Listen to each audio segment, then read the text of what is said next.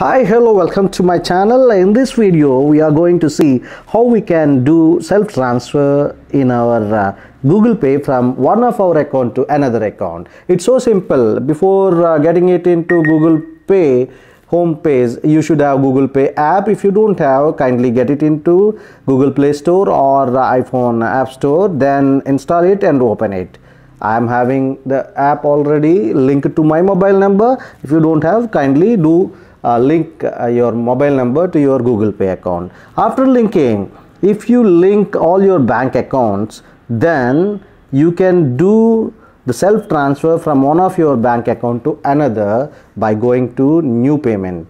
After going to new payment, there will be four options bank transfer, phone number, UPI ID, self transfer. The self transfer option will give us an option to transfer money from one of our account to another. If you observe here, I have two accounts linked. HDFC one account and SBI is the another account. I have both the accounts linked to my Google Pay. I would like to transfer money from my HDFC bank to my SBI account. Let's see what exactly happens.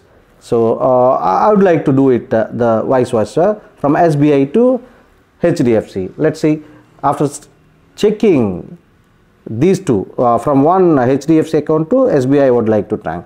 First I have to click from which account I would like to say uh, send the money that is HDFC and second one is for which account you want to transfer to. From this to this also you can do or not?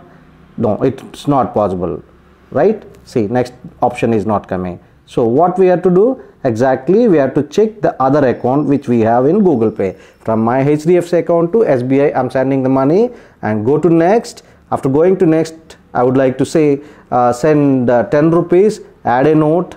I'm just adding it as a self for example purpose and then go to OK button. And then transfer now.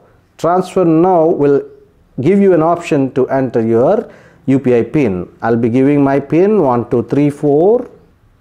So after giving my pin, I'll be just clicking OK button here.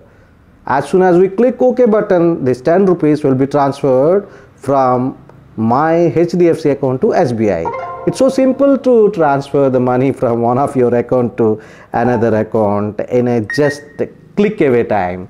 See if you observe this 10 rupees has been transferred from my HDFC bank to SBI. It's so simple, right? I think uh, you got uh, use of this particular video. Uh, kindly comment in the section uh, what exactly you want uh, next time uh, the video should be and do subscribe the channel like the video and share it to someone okay who are in need of this video thank you so much i'll see you in the next one